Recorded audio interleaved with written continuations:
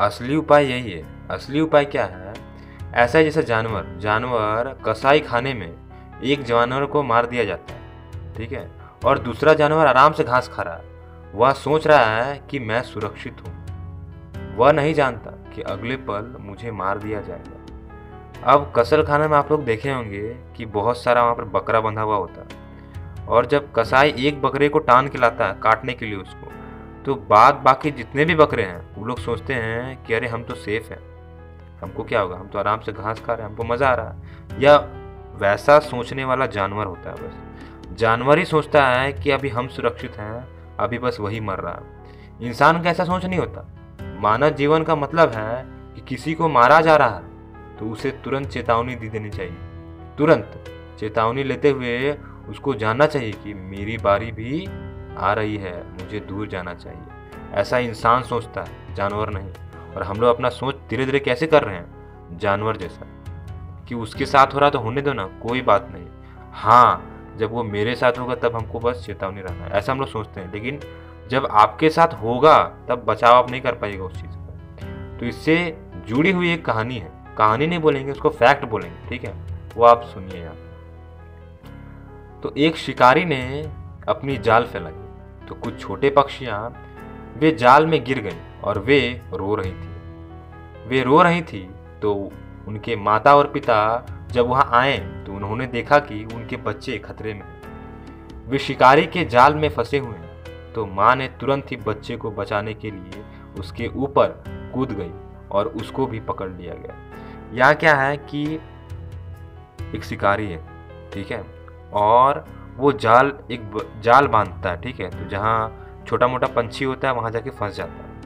अब उसका माँ पापा जब आते हैं, तब देखते कि उसके बच्चे फंसे हुए हैं। तो माँ क्या करती है, बच्चे को बचाने के लिए, वो सोचते हैं हम उसको बचा लेंगे और वो जाल में चल जाती है। और जाते ही वो माँ खुद भी पकड़ा जाती है। ऐसा। तो माँ तो तुरंत ही बच्चे को बचाने के लिए उसके ऊपर कूद गई और उसको भी पकड़ लिया गया। फिर पिता ने देखा अब अगर मैं जाऊँ तो मुझे भी पकड़ लिया जाएगा। पिता क्या सोच रहा? है देखो, बच्चा तो फंसा ही माँ भी फंस गई। अगर हम जाएँगे तो हम भी फंस जाएँगे। ऐसा कौन सोच रहा? है मुझे चले जाना चाहिए। वो सोचा कि नहीं भैया, अगर हम जाएँगे तो हम भी तो फंस जाएँगे। मेरे बच्चे इतने सारे थे, वो भी सब फंस गए। माँ गई छुड़ाने के लिए, वो भी फंस गई। तो हम क्या हम भी फंस जाएँगे। तो जब ये सोचा कि मुझे चले जाना चाहिए तो एकदम सही सोचा है। यह बुद्धिमानता कहा जाता है इसको। इसको बोलते हैं बुद्धिमानता। अब वो वहाँ देखिए, आप इसको माया है, ठीक है? इसको आप माया देख सकते हैं कि माया में इंसान कैसे फंस रहा है।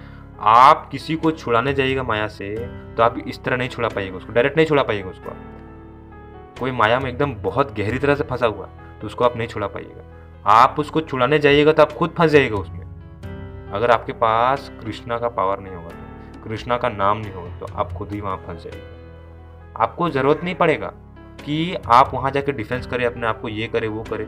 आप खुद ही उसमें भूल जाओगे, खुद ही खुद ही, पता नहीं चलेगा आपको उस समय। तो यही देखिए कि कैसे कोई इंसान फंस जाता है।